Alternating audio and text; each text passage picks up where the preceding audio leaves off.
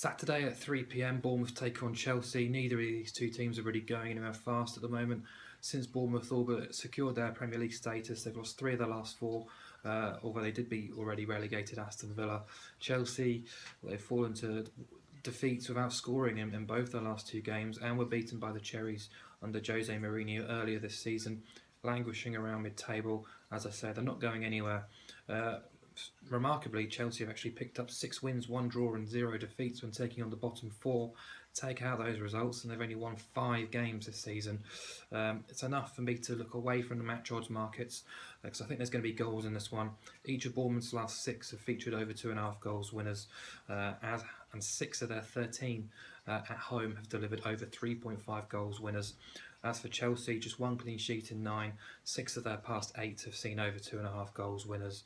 Um, so I'm going to take over 2.5 goals and both teams to score at 2.00 uh, on Saturday in the Premier League and counter